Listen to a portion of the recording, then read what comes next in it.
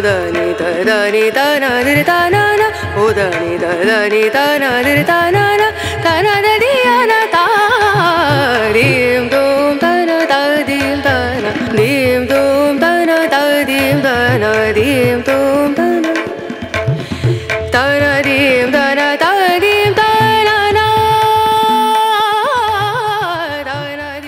hello friends welcome back to Sivakami நிலையா இன்னைக்கு நம்ம சேனல்ல வெள்ளிக்கிழமை பூஜை விளாக் பார்க்க போறீங்க. வெள்ளிக்கிழமைங்கிறது மகாலட்சுமிக்கு உரிய ஒரு நாள். செல்வங்களை அள்ளித்தரும் சுக்கர பகவானின் ஆதிக்கம் நிறைஞ்ச ஒரு நாள். பொதுவா வெள்ளிக்கிழமையில செய்யப்படும் எந்த ஒரு வழிபாடும் செல்வ வளத்தை அள்ளித்தரும். வெள்ளிக்கிழமையில செய்யப்படும் சக்தி வழிபாடுங்கிறது எப்பேற்பட்ட வறுமையில இருக்கிறவங்களுக்கு கூட கோடீஸ்வர யோகத்தை தரக்கூடியது. நம்ம வீட்டுல பூஜை செய்யறதுல நிறைய பேருக்கு நிறைய விதமான சந்தேகங்கள் இருந்துட்டே தான் இருக்கும். நாம விளக்கு வைக்கிற முறையில இருந்து குலதெய்வ கலசம் லக்ஷ்மி குஞ்சம் மற்ற தெய்வங்கள் எல்லாம் எப்படி நாம அமர்த்தணும்? அதுக்கப்புறம் நாம பூஜை செய்யற வழிபாட்டு முறையிலயும் நிறைய சந்தேகங்கள் வந்து கமெண்ட்ஸ்ல கேக்குறீங்க.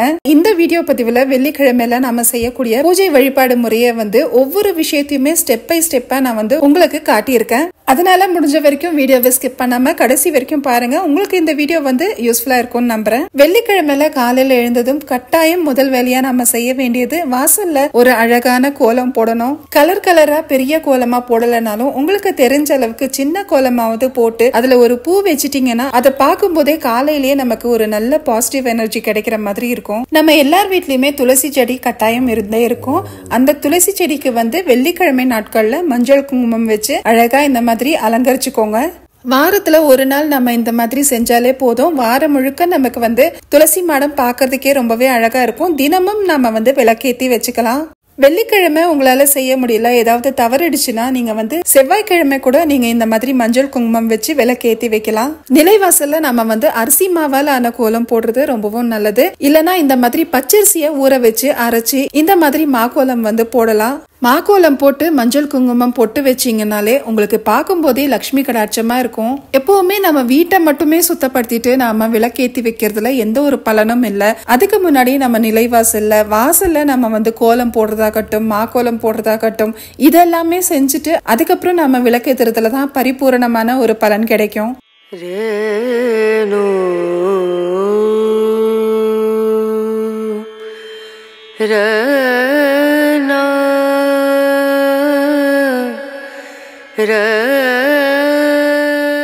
நம்ம வீட்ல இந்த மாதிரி சின்ன சின்ன சுவாமி சிலைகள் இருந்தா நம்ம மாதத்துல ஒரு தடவை வந்து நம்ம அதுக்கு அபிஷேகம் செய்யலாம்.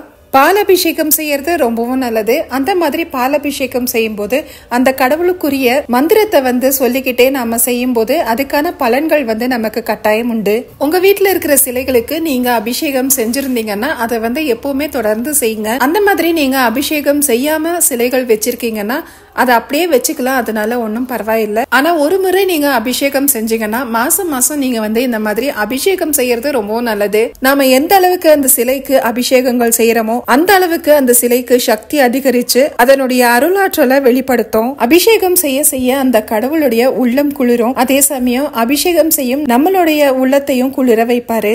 இதுக்கப்புறம் நாம நம்ம பூஜைறையில இருக்கும் விளக்குகளை நம்ம எப்படி தயார் பண்ணணும் அதே மாதிரி சிலைகளையும் நம்ம எப்படி வைக்கணுங்கிறதையும் இப்ப பார்க்கலாம். முதல்ல காமாட்சி அம்மன் விளக்கு. இந்த விளக்கு வைக்கும் போது எப்பவுமே ஒரு மனை வச்சு அது மேல ஒரு தட்டு வச்சு தான் இந்த காமாட்சி அம்மன் விளக்க வைக்கணும். அந்த தட்டு மேல பச்சரிசி பரப்பி மஞ்சள் குங்குமம் கலந்துக்கணும். நம்ம வீட்ல இருக்கிற காமாட்சி அம்மன் விளக்குல எப்பவுமே வந்து நம்ம குலதெய்வம் வாசம் செய்வாங்க. அதனால நம்ம குலதெய்வத்தை நினைச்சு நாம ஒரு ரூபாய் நாணயத்தை இந்த காமாட்சி அம்மன் விளக்கு வைக்கிறதுக்கு முன்னாடி இந்த தட்டுல வச்சுக்கலாம். இந்த விளக்குக்கு போடுற அரிசியை வந்து நான் அடுத்த வாரம் வியாழக்கிழமை இந்த விளக்கு கழுவும் போதுதான் நான் மாத்துவேன். அந்த நேரத்துல இந்த ஒரு ரூபாய் நாணயத்தை நம்ம குலதெய்வத்துக்காக வச்சிருக்கிற உண்டியல்ல நம்ம போட்டுடலாம். திரும்ப நீங்க எப்ப குலதெய்வ கோயிலுக்கு போறீங்களோ அப்ப இதை எடுத்துட்டு போய் நீங்க குலதெய்வ கோயில் உண்டியல்ல சேர்த்துடலாம்.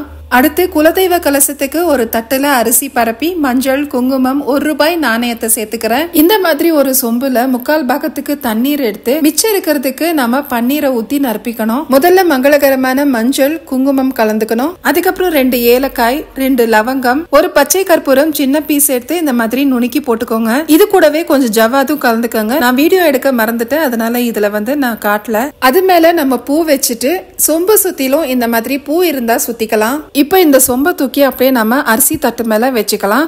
நம்ம குலதெய்வ சொம்பு இப்போ ரெடி ஆயாச்சு.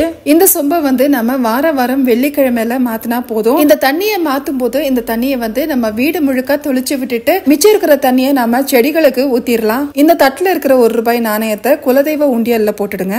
இதுக்கப்புறம் நம்ம வீட்டில் இருக்கிற சிலைகளை நம்ம எப்படி முறையா வைக்கணுங்கிறத பார்க்கலாம். சிலைகளையும் நம்ம வந்து வெறுமனே தரையில வைக்க கூடாது அரிசி போட்டுதான் அது மேலதான் நம்ம இந்த மாதிரி சிலைகளை வைக்கணும். தனித்தனியாவும் நம்ம வந்து அரிசி போட்டு வைக்கலாம். நான் வந்து எங்கள் வீட்டில் சின்ன சின்ன சிறைகளாக இருக்கிறனால ஒரே தட்டில் அரிசி பரப்பி நான் வந்து வச்சுக்க போகிறேன் அதுக்கு ஒரு தட்டில் அரிசி பரப்பி மஞ்சள் குங்குமம் பூ தூவி விட்டு அதுக்கு மேலே தான் இந்த சிலைகளை வச்சிருக்கேன். இந்த தட்டுகளில் இருக்கிற அரிசியை வந்து நம்ம சைவ சாப்பாட்டுக்கு பயன்படுத்தலாம். இல்லைன்னா சமைச்சு பசுமாட்டுக்கு உணவாக அளிக்கலாம். இந்த அரிசியை அரைச்சு நம்ம பவுடர் பண்ணி பூஜை அறையில கோலம் போடுறதுக்கு கூட நம்ம உபயோகப்படுத்தலாம். அடுத்து நம்ம வீட்ல இருக்கும் வேலை கூட நம்ம வந்து வெறும்னே வைக்க கூடாது இந்த மாதிரி ஒரு தட்டு வச்சு அதுல அரிசி போட்டு தான் நம்ம வைக்கணும். அதே மாதிரி இந்த வேலை வெறும் வேலா இருக்கும் போது தான் அது ஆயுதமா இருக்கும். நாம இந்த மாதிரி ஒரு எலுமிச்சை பழத்தை அதுல சொருகி வைக்கும் போது அது நம்மை காக்கும் வேலா இருக்கும். கொஞ்சம் பெரிய வேலா இருந்தா இந்த மாதிரி எலுமிச்சை பழம் வைக்கலாம். இல்லனா அந்த முனையில நம்ம கொஞ்சம் சந்தனம் கூட வச்சு விடலாம். நம்ம வீட்ல இருக்கிற சிலைகளுக்கு இந்த மாதிரி சின்ன சின்ன மாலைகள் போட்டு விட்டா ரொம்பவே அழகா இருக்கும். இப்ப மார்க்கெட்ல இந்த மாதிரி வந்து கிடைக்குது. இதுல இந்த மாதிரி மெலிசான கம்பி வச்ச மாதிரியும் மாலை வருது. அந்த மாதிரி இருக்கும்போது நம்ம வந்து தேவை இருக்கிற அளவுக்கு வச்சுட்டு பின்னாடி வந்து நம்ம பெண்ட் பண்ணி விட்டுறலாம். பெரும்பாலும் இந்த மாதிரி சின்ன சின்ன சிலைகளுக்கு மாலை நிக்கவே நிக்காது. இந்த மாதிரி நீங்க செய்யும் போது இது வந்து கரெக்டா அப்படியே நிக்கும். பாக்குறதுக்கும் அழகா இருக்கும். இங்க லக்ஷ்மி தாயாருக்கு முத்து மாலை போட்டு விட்டுருக்கேன். விளக்குக்கு கீழே இருக்கிற தட்டுல நாம அரிசியும் போடலாம். இல்லனா இந்த மாதிரி அக்ஷதையும் போட்டு நம்ம விளக்கு வைக்கலாம். இந்த அக்ஷத அரிசியை நீங்க மாத்தும் போது கால்படாத இடத்துல இல்லனா ஓடும் தண்ணியில நீங்க போட்டுடலாம். சில பேர் வீட்டில் ரெண்டு காமாட்சி அம்மன் விளக்கு வைக்கிற வழக்கம் இருக்கும். ஆனால் எங்கள் வீட்டில் வந்து நான் எப்போவுமே ஒரே ஒரு காமாட்சி அம்மன் விளக்கு தான் வைப்பேன். ஆனால் ஒத்த விளக்கா நம்ம எப்போவுமே வைக்கக்கூடாது அதுக்கு துணை விளக்கா நம்ம இந்த மாதிரி ஒரு அகல் விளக்கு வச்சுக்கலாம். எப்போவுமே விளக்குக்கு சுத்தமான பசு நெய் இல்லைன்னா நல்லெண்ணெய் ஊற்றி தான் நம்ம விளக்கு ஏற்றணும் நான் வந்து இன்னைக்கு நல்லெண்ணெய் தான் ஊற்றியிருக்கேன் இதில் கொஞ்சம் விளக்கு பொடி போட்டு நம்ம விளக்கு ஏற்றும் போது நம்ம வீடே நறுமணமாக கோவில மாதிரி இருக்கும். இந்த விளக்கு பொடி தயாரிக்கிறதுக்கான வீடியோ லிங்க் வந்து நான் டிஸ்கிரிப்ஷன் பாக்ஸில் கொடுத்துட்றேன் செக் பண்ணிக்கோங்க. இதில் கலந்திருக்கிற எல்லா பொருளுமே வந்து மகாலட்சுமி வசீகரிக்கக்கூடிய பொருட்கள். அடுத்து குபேர குஞ்சம் எப்படி தயாரிக்கிறதுன்னு பார்க்கலாம். நம்ம வீட்டுல வறுமை நிலை நீங்கி மகிழ்ச்சியும் மன நிம்மதியும் கிடைக்கணும்னா இந்த மாதிரி குபேர குஞ்சம் வைக்கிறது ரொம்பவும் முக்கியம். இதுக்கு ஒரு தட்டுல அரிசி பரப்பி இந்த மாதிரி ஒரு படிய அது மேல எடுத்து வச்சுக்கிறேன். அதுல முக்கால் பாகத்துக்கு பச்சரிசியை நிரப்பிட்டு ரெண்டு முத்து அஞ்சு குன்றின் மணி சேர்த்திருக்கேன். ரெண்டு மஞ்சள் நிற சோலி ரெண்டு தாமரை விதைகள் அப்புறம் ஒரு கோமதி சக்கரம் சேர்த்துக்கிறேன். இது கூடவே அஞ்சு ஒரு ரூபாய் நாணயத்தையும் சேர்த்துக்கிறேன். இதுக்கப்புறம் திரும்பவும் அரிசியை போட்டு முழுசா நிரப்பிக்கணும். இதுக்கப்புறம் இந்த மாதிரி ஒரு சங்கு இருந்தா வச்சுக்கோங்க. லக்ஷ்மிக்கு ரொம்பவும் உகந்தது. லக்ஷ்மி நாணயம் இருந்தா அதையும் மேல இந்த மாதிரி வச்சுக்கோங்க. இதுல கீழே தட்டுல இந்த மாதிரி கொஞ்சம் இடம் இருந்தா நாணயங்களை போட்டுக்கோங்க. இந்த லக்ஷ்மி குபேரர் குஞ்சம் வந்து நம்ம வீட்டுல குபேரர் பூஜை செய்யும் போதும் சில விசேஷ நாட்கள்ல விசேஷ பூஜைகள் செய்வோம். அந்த மாதிரி நேரங்களையும் வைக்கலாம். எப்பவுமே நம்ம வீட்டு பூஜை அறையில இந்த லக்ஷ்மி குஞ்சம் வச்சு நாம வழிபடுறது ரொம்பவும் நல்லது. இதுல இருக்கிற அரிசியை நாம மாதத்துல ஒரு முறையோ இல்லைன்னா சில விசேஷ பூஜை நாட்கள் வரும் இல்லையா? அந்த நேரத்துல நம்ம மாத்தினா போதும். ஆனா அதுல இருக்கிற பொருட்கள் வந்து அதையே நாம திரும்பவும் வச்சு வழிபடலாம். அதை மாத்த தேவையில்லை. அடுத்து நம்ம பூஜை அறையில இருக்கும் சுவாமி சிலைகளுக்கும் படங்களுக்கும் நல்ல வாசனையுள்ள பூக்களை வச்சு அலங்கரிச்சுக்கோங்க. நிறைய பேர் கமெண்ட்ஸ்ல கேக்குறீங்க தினமும் பூ மாத்தணுமான்னு.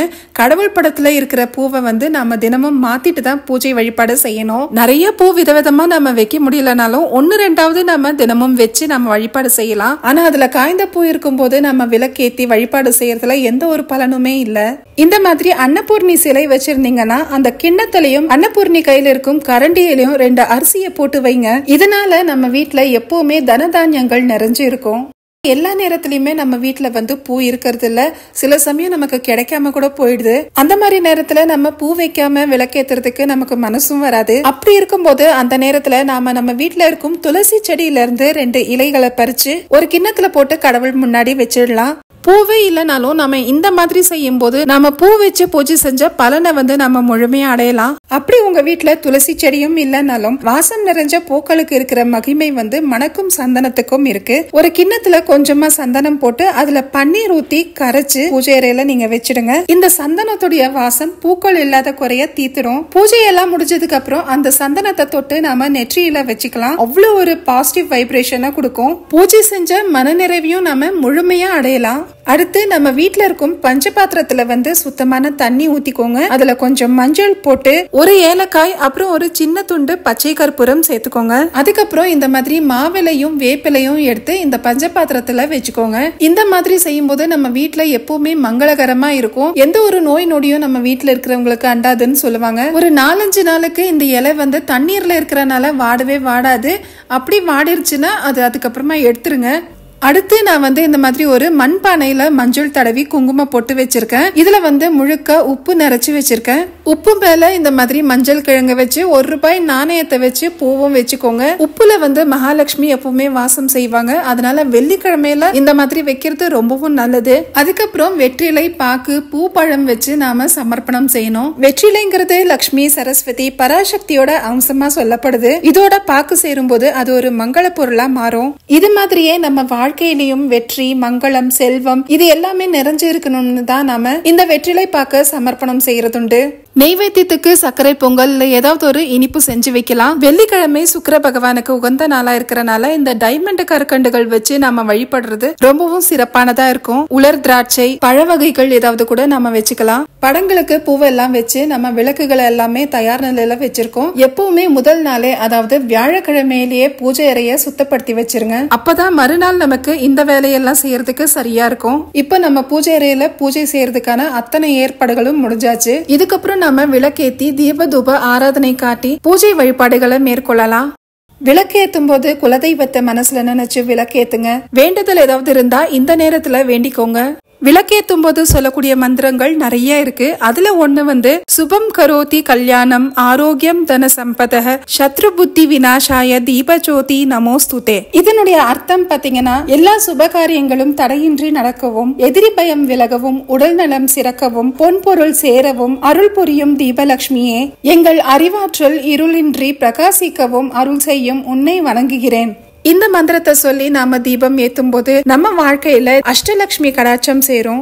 நல்ல நறுமணங்கள் நிறைஞ்ச இடத்துல தெய்வீக சக்திகள் வந்து நிறைஞ்சு இருக்கும்னு சொல்லுவாங்க. அதனாலதான் நாம தெய்வங்களுக்கு பூஜை செய்யும் போது நல்ல வாசம் மிக்க தூபங்களை ஏத்தி நாம வழிபாடு செய்யணும். வெள்ளிக்கிழமையில சாம்பிராணி தூபம் போடுறது ரொம்பவும் முக்கியம். அந்த மாதிரி சாம்பிராணி தூபம் போடும்போது அதுல தூதுவளை பொடி வந்து நாட்டு மருந்து கடையில கிடைக்கும். அந்த பொடியை போட்டு நீங்க தூபம் போடுங்க. இதனால எல்லா தெய்வங்களுடைய அருளும் முக்கியமா குலதெய்வ அருள் வந்து நமக்கு பரிபூரணமா கிடைக்கும். பஞ்சகவ்ய விளக்கு கண்டிப்பா வீட்ல ஏத்தி வைங்க. எதிர்மறை ஆற்றல் எல்லாமே குறைஞ்சு நல்ல ஒரு நேர்மறை ஆற்றல் வந்து பரவும். நாம மனமுருகி அந்த கடவுளை நினைச்சு இந்த தீபத்தை ஏத்தும் போது அந்த கடவுள் அந்த தீபத்துல காட்சி அளிப்பாருங்கிறது நிஜம். அதே மாதிரி தான் நான் எப்பவுமே எங்க வீட்டுல தீபம் ஏத்தும் போது சாக்ஷாத் அந்த சிவபெருமான் இந்த தீப ஜோதியில எனக்கு காட்சி அளிப்பாரு அந்த அற்புத காட்சியை நீங்களும் இப்போ இந்த வீடியோல பாத்துட்டு இருப்பீங்க. தீம் தூம் da தீம் da dim da दीम ोम दीम दोम गाना तादीम ओदनी ददानि तानादिर ताना ओदनी ददानि तानादिर ताना கல்லடி பட்டாலும் படலாம் ஆனா கண்ணடி படக்கூடாதுன்னு சொல்லுவாங்க. அப்பேற்பட்ட கொடியது கந்திருஷ்டிங்கிறது. அப்பேற்பட்ட கந்திருஷ்டியை தீக்கிறதுக்கு நாம வெள்ளிக்கிழமை நாள்ல இந்த மாதிரி ஒரு கம்பியில அஞ்சு பச்சை மிளகாய கோர்த்து ஒரு எலுமிச்சை பழத்தை கோர்த்து நாம இந்த மாதிரி கற்பூரத்துல காட்டணும். அந்த கருப்பு வந்து நல்லா படியணும். அதுக்கப்புறம் இதை நம்ம பூஜை அறையில் இருக்கும் கடவுளுக்கு மூணு முறை சுத்திட்டு அடுத்து நிலைவாசலையும் மூணு முறை சுத்திட்டு நிலைவாசல் மேல நம்ம தொங்க விட்டுடலாம். வாரம் ஒரு முறையாவது நாம இந்த மாதிரி செய்யணும். நம்ம பூஜை அறையில இருக்கிற கடவுளுக்கும் திருஷ்டியே ஏற்படும். அந்த மாதிரி திருஷ்டியை கழிக்கிறதுக்கு நம்ம மாதத்துல ஒரு முறையாவது ஆழம் கரைச்சு நம்ம திருஷ்டி கழிக்கணும். நம்ம வீட்டு வாசல் முன்னாடி இந்த மாதிரி ஒரு பிள்ளையார் சிலை வாங்கி வைக்கலாம். இல்லனா கந்திருஷ்டி கணபதி படம் வாங்கி நம்ம மாட்டி கூட வைக்கலாம். இந்த மாதிரி செய்யும்போது கந்திருஷ்டி கெட்ட சக்திகள் எதுவுமே நம்ம வீட்டை அண்டாது. நம்ம வீட்டு நிலைவாசல்ல எப்பவுமே குலதெய்வம் வாசம் செய்வாங்க. அதனால அந்த நிலைவாசலுக்கும் நாம எப்பவுமே மஞ்சள் குங்குமம் வச்சு தீபாராதனை காட்டி வழிபாடு செய்யணும்.